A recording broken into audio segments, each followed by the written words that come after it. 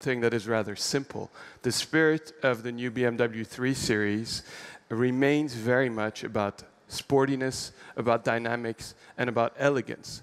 But one thing we tried uh, uh, very intensively to do with the new 3 Series is to amplify or strengthen the aspect of precision.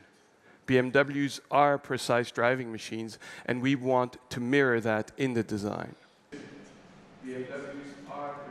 Uh, we have here full LED headlamps, also the first time we have it on the 3 Series. So you go away from the rings to tubes, which allows you to see uh, the technology not only from far but from close. But from far, what we've done, as you know, the 3 Series today is the first car in our lineup that actually connected the headlamps to the kidneys.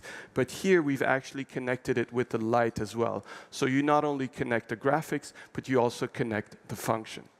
Additionally to that, we have an LED blinker in the eyebrow, which is something very important to us because the eyebrow amplifies the feeling of concentrated look. A BMW needs to have a concentrated look.